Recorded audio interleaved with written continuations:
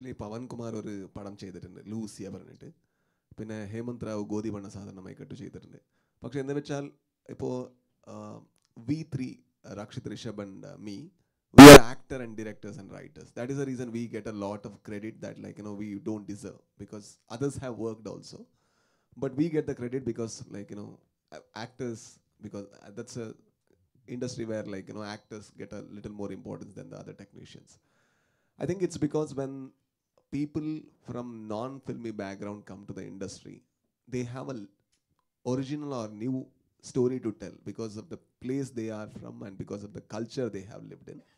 And they believe in it and the stories change. I think that is one reason maybe like you know presently the changes are coming.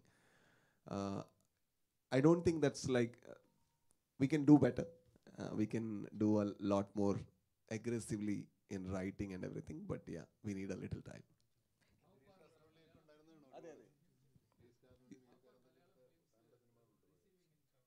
very well very well. Um, for example like uh, was, uh, was a super duper hit and uh, premalu was a very good hit. And uh, manjumal boys received very well. And even with the turbo um, the inquiry for the distribution is very good there. And uh, uh, it, it is gone sir. I think it's uh, not anymore language cinemas. It's about good cinemas or bad cinemas. If it is good it will be received in chennai and uh, telugu speaking states as well so if it is bad it is not at all received in your own state i think uh, that is the only criteria right now. Hi Anjana എന്റെ വസൻ അഞ്ജനയോട് oh hi hi Megha Anjana ഇപ്പോൾ ഫഹദ് കഴിഞ്ഞു. Next നമ്മുടെ മെഗാസ്റ്റാറിന്റെ കൂടെയാണ് movie എന്ന് പറയുന്നത്. അഞ്ജനയെ സംബന്ധിച്ചോളം അതൊരു ആക്ടിങ് എക്സ്പീരിയൻസ് ആണ്. എങ്ങനെ ഉണ്ടായിരുന്നു ടർബോയിൽ acting experience with the megastar എവിടുന്ന് തുടങ്ങണ്ടെന്ന് ആലോചിക്കുക ഓഫ് കോഴ്സ് എല്ലാ മലയാളികളെ പോലെയും ഓക്കെ. ഷാജ ട്വൽത്ത് വരെ ഷാജയിലായിരുന്നു പഠിച്ചതും. എല്ലാ ആക്ടേഴ്സിന്റെ ഡ്രീമാണ് ഒരു യുനോ മമ്മൂക്കയുടെ കൂടെ അഭിനയിക്കുക. ഇത്രയും സീനിയോറിറ്റി ഇത്രയും ഒരു ലെജൻഡറി ആക്ടറിന്റെ കൂടെ അഭിനയിക്കുക. ഫസ്റ്റ് മീറ്റ് ചെയ്യുമ്പോൾ ഒരു ഒരു എന്താണ് ഒരു സ്റ്റാർ സ്ട്രക്ക് ആ ഒരു ഫീലിംഗ് ഉണ്ടായിരുന്നു. കാരണം നമ്മളെല്ലാ മലയാളികളും ചെറുപ്പം തൊട്ട് കണ്ട് വളർന്ന ഒരാളാണ്.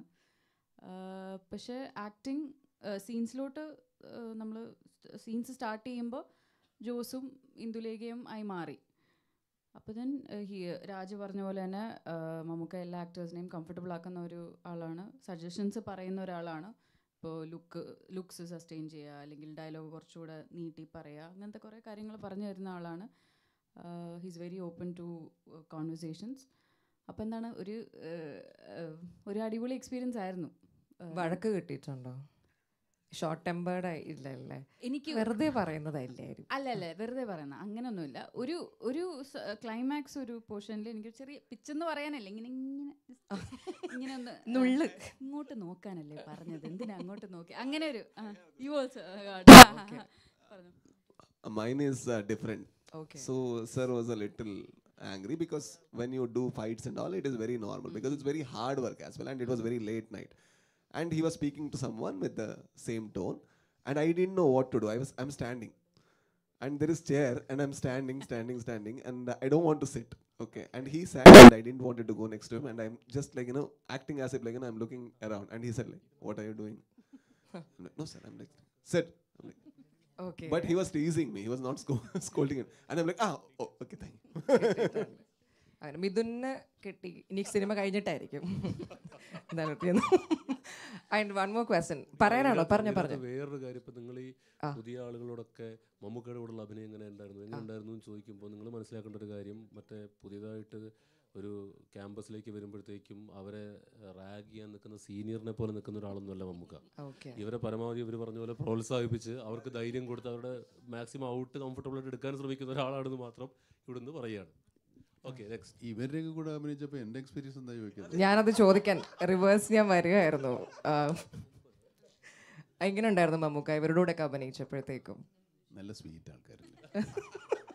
നല്ല ആൾക്കാരാ. ഒരു ജാടയും ഇല്ല ഒരു അഹങ്കാരവും ഇല്ല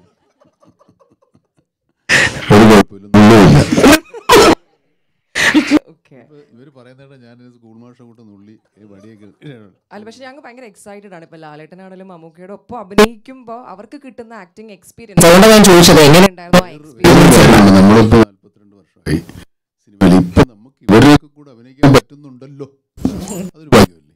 ശരി. അങ്ങനെയുണ്ട്. വൈശാഖ് സാർ നമ്മളൊരു യൂണിവേഴ്സിറ്റി പോകുന്ന പോലെയാണ്. പി എച്ച് ഡി എടുത്ത ഒരാളുടെ അടുത്ത് അഭിനയിക്കുന്ന പോലെയാണ് അപ്പൊ നമുക്ക് അറ്റ് വൺ ഗോ എല്ലാ ഇൻഫർമേഷനും കളക്ട് ചെയ്യാൻ പറ്റില്ല കുറച്ച് കുറച്ച് കുറച്ചായിട്ടേ പഠിച്ചു വരാൻ പറ്റുള്ളൂ അതെ ഫഹദ് പി മമ്മൂക്ക. ഒന്നുമില്ല. ഞാൻ ഞാൻ എട്ട് പത്താം ക്ലാസ് തോറ്റതാണ് ഞാൻ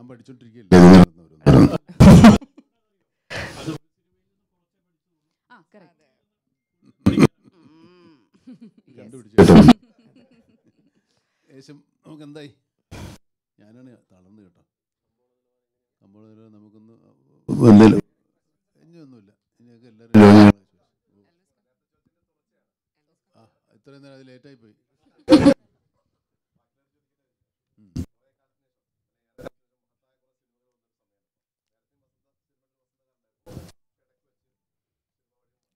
എല്ലാ കാലവും മഴയും വെയിലും ഒക്കെ വരില്ലേ?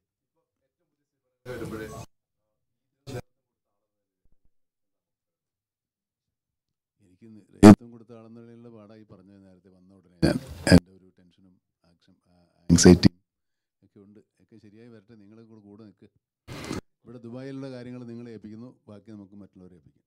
എന്താ പറയുന്നു അപ്പോൾ പോരെ. ഇനി ഒരു നല്ല കാര്യമായിട്ട് വരാൻ പറ. അങ്ങനെ വെറുതെ ആവട്ടെ. അല്ലല്ല കോട്ടയം കുഞ്ഞത്തിന് ഇനിയിപ്പോൾ പത്തിരുപത് കൊല്ലമായില്ലേ ഞാൻ എന്തെടുക്കാൻ പറ്റും ഏ, പിന്നെ ഒരു ലൈൻ. ഞാൻ എണീറ്റു. ഞാൻ എണീറ്റു.